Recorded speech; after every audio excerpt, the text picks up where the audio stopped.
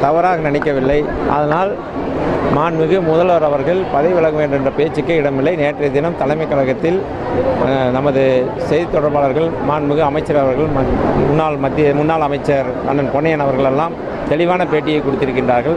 நான் அதே அவர்களிடத்தை திருப்பி கேட்கின்றேன். ஸ்டாலின் அவர்கள் பதவி விலக வேண்டும் என்று சொல்லியிருக்கின்றார்கள். டூ ஜி ஸ்பெக்ட்ரா மூலிலே வழக்கு நடைபெறுகின்ற போது அவருடைய தங்கையாக இருக்கின்ற கனிமொழி அவர்கள் பதவி விலகினார்களா? இப்பொழுது அரசியலுக்காக வேண்டி மாண்புமிகு முதலமைச்சராக எப்படியாவது ஆட்சியை கவிழ்க்க வேண்டும் என்று பார்த்தார்கள் முடியவில்லை. இதை வைத்து அவரை பதவி விலக வேண்டும் என்று சொல்கிறார்கள் ஒருபோதும் நடக்காது. அதான் எல்லாத்துக்கும் அதே தான் பதில். ராமதாஸுக்கு அவருடைய மகன் வழக்கில் இருக்கின்றார். அவர் என்ன அன்றைய தினம் ராஜினாமா செய்தாரா?